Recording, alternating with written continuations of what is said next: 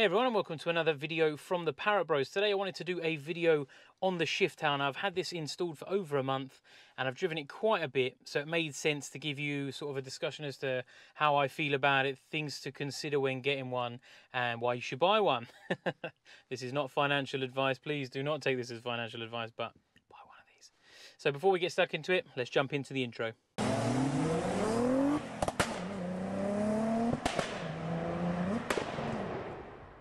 So the main reason for me getting one of these was it was a couple of reasons. A, I've always wanted one, and they're less than a thousand pounds, so it seemed like a great idea to get one. I've been saving for something fancy inside the car for a little while, and the other reason was I didn't like the height of the original shifter, which was is quite low. It's probably five or six inches lower than this one, and I found myself sort of leaning to get it, which I don't like. It makes it uncomfortable, especially if you're doing track days because you want to kind of be in this nice upright position and you want to be able to grab it you don't have to lean down for it and whatever.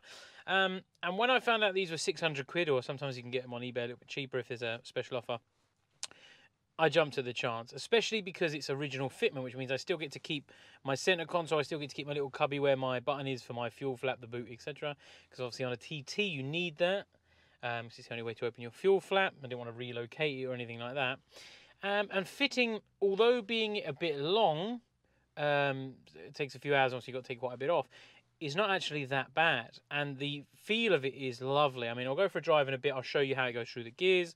I really like it. The only time I would say you may not like it is if you do a lot of round town driving and you like a nice smooth gearbox because it's a little bit clunky. It's a bit um, mechanical feeling, which I like because it, you've it's in gear. You feel it go into gear. It stops. It's quite nice. Um, the reason, that, the thing that makes this better than um, a short shift or anything like that, a short shift, they're all right, but they feel a bit notchy and they can feel a bit, the gears are quite close and things like that. Um, this actually raises the point of where the shifter moves. So you naturally, I mean, that's, where's central? There's neutral. So between neutral, uh, sorry, between, this is second and fourth, between, sec, sorry, third and fourth, between third and fourth, that's it. So there is very little movement. So you can see uh, what what the benefits of driving. I mean, you can literally, if you were to keep your arm in the same place, you're only moving your wrist to get the shift change. So it's crazy short. It's in a nice reachable position whilst you're driving. Yes, it makes you feel like a bad boy, a race driver, and you get in the car and you just you're just like, oh yeah, I like this. Uh, but it is in a nice position. All, all cosmetics aside, for me, it's there. So do you know what I mean? You're in it is where you want it to be if you were going to buy something like this. Yes, you could buy a longer gear knob, but that would make the standard throw further because obviously the higher the further it's going to travel. Um, obviously it's not 600 pounds and you could put a short shift on, but they just don't feel the same. I am sitting on my car on probably the hottest day of 2021 without the aircon running. So let's get driving and I'll show you how how it drives the here we go. Apologies if the aircon is a bit low, loud because it is, like I said, it's 20 something degrees outside today, which I'm not complaining and I am going to put on my snazzy shades. Let's go for a bit of a drive. But yeah, actual day-to-day -day driving with it is fine. Reverse, fine. Um, no problems with reverse at all. It's there. Once you've got it set up, you wouldn't even notice the difference um, in gears, you don't struggle to find any particular gear. I've not had any problems. I've done five, over 500 miles. I drove to Brins the other day for a quick catch up and a chat, um, and that was uh, best part of a 130 mile round trip. So plenty of driving all in one day. Motorway, no problem. I picked the worst place to pull out.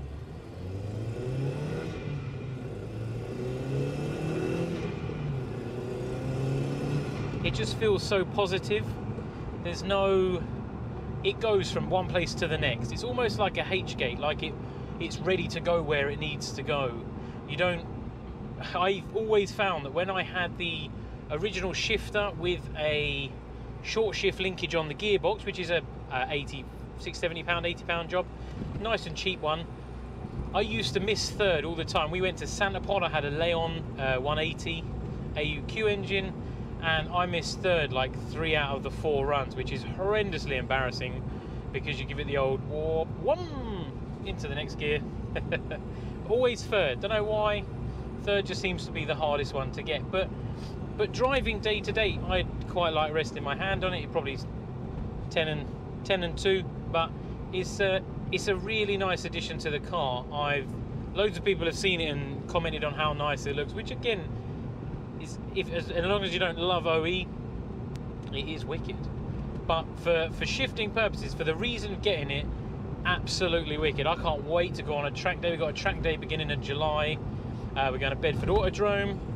Drop me a message if you want to tag along. I think it might be sold out because track days have become quite popular recently. Now we're allowed out and about. Um, but yeah, I mean, overall review on the Shift Tower is it worth £600? Yes, definitely. Um, I wouldn't be going back to a standard one now, that's for sure.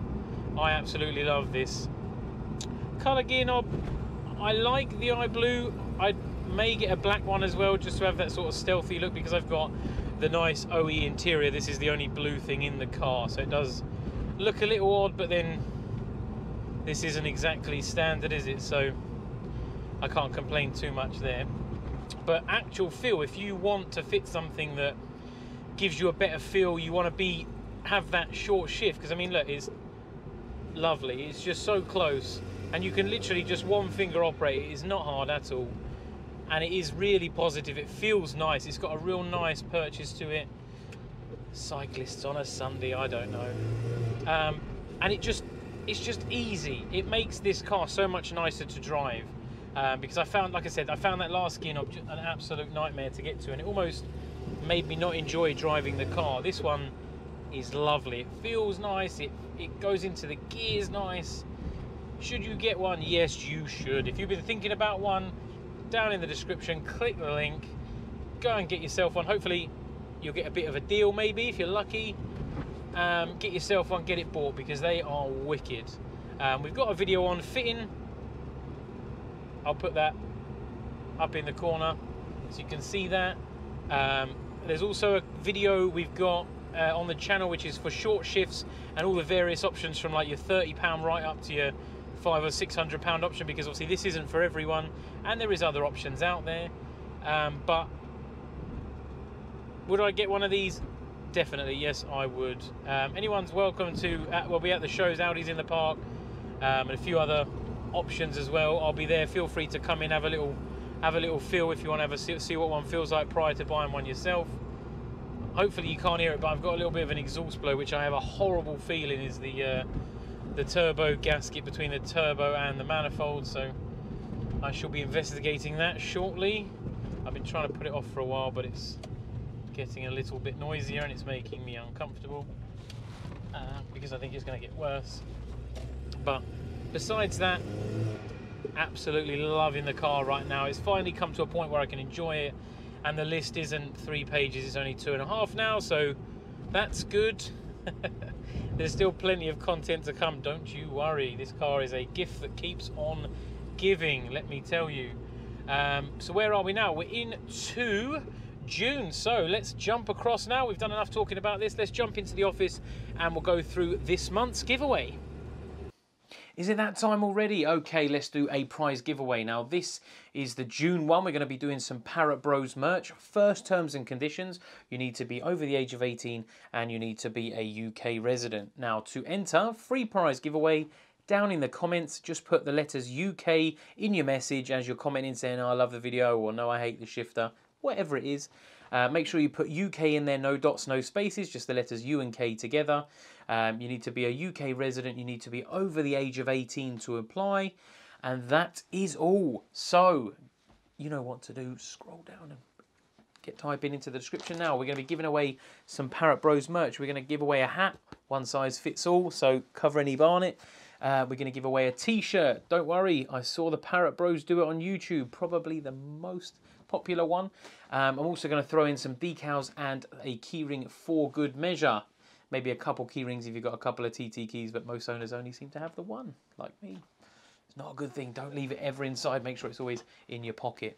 Um, so yeah, this competition will run from right now whilst you're seeing this live on the 6th of June at 4.01 pm and it will run till the 20th of June at 4.01 pm when I will stop and I will select one from the random comment picker and on the video on the 27th of June 2001, uh, 2001, 2021 we will put the winner in there. So good luck and we'll see you then. Bye for now.